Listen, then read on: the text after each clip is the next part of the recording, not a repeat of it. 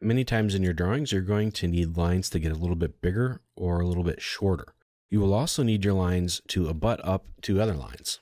That's where the trim and the extend commands come in. I've combined these two commands together because they're practically identical in function. In fact, with a little bit of keyboard magic, you can even trim or extend with either the trim or extend button. So the trim command will shorten your objects by cutting away the parts you don't want along a cutting line. Now the extend command will lengthen your lines up to an extension line. So let's open up a file. Let's look at the trim extend example files. Here I have just a series of different lines to kind of demonstrate to you how these are going to function. I have a series of concentric circles with two lines that are parallel passing through them.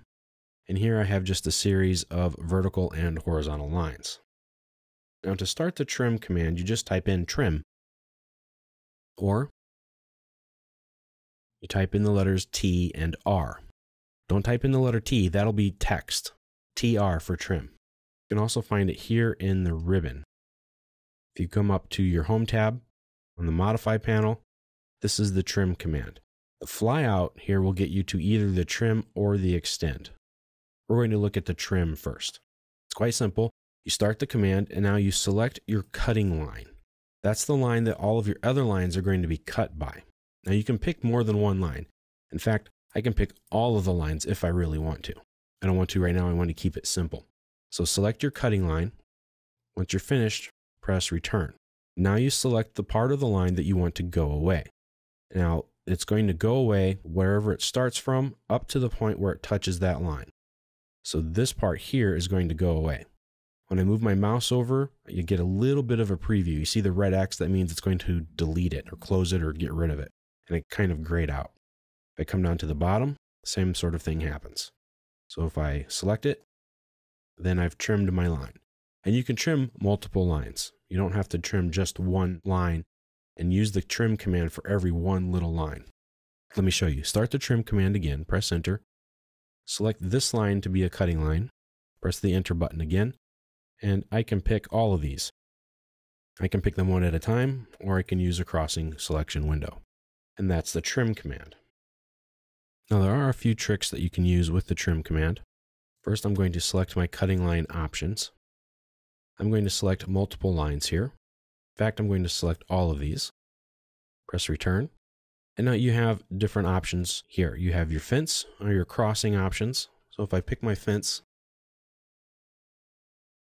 I can tell it to delete whatever passes through that line and it trims just that part. Crossing works the same way. If I pick edge, I can extend or no extend. You can see here it's just going to pick the edge. On the extend option there, if you pick no, then the cutting edge line must pass through the objects that you want to trim. Now let's start the trim command again. I'm going to select this circle on the outside here as my trimming cutting line. Press return. Now let's say I want to trim some things I have I say, oh, wait a minute, I need this line to extend to the circle. Hold down the shift key, select the line, select the other line, and then it extends it. So that's how you turn the trim command into an extend command. Now let's look at the extend command. If I come up here to the ribbon, I find the extend command here, and it works very similarly. I select my extension line or the line that my objects will be extended to. Press return. You see here, I can't extend a circle onto itself. But what I can do is type in extend or EX for the command, and I can pick a line that's far away. I'm going to select that line, press enter, and then scroll back down here and pick on all of these lines. You can pick them again one at a time or with a selection set. This line I didn't pick. So you see it works very similarly to the trim command. And if I start the extend command again, select my circle. So now I've selected this for my extension line.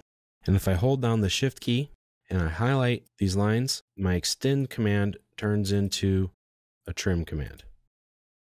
So you might be asking, why would I want to use an extend as a trim or a trim as an extend? Let me show you. We're going to erase those just to get them out of the way. I'm going to start the trim command. I'm going to select all of these lines and circles. Press return. Now I'm going to trim some things away. So now I have a series of trims and extends. So I can use a lot of these commands in the exact same way as I did before, and I can trim them or I can extend them depending on what I need to do. So you can make some very fancy things with just one command and it saves time. So I'm able to extend and trim by manipulating the line work with relative line work in the same area. And I don't have to stop one command and I can keep going back and forth.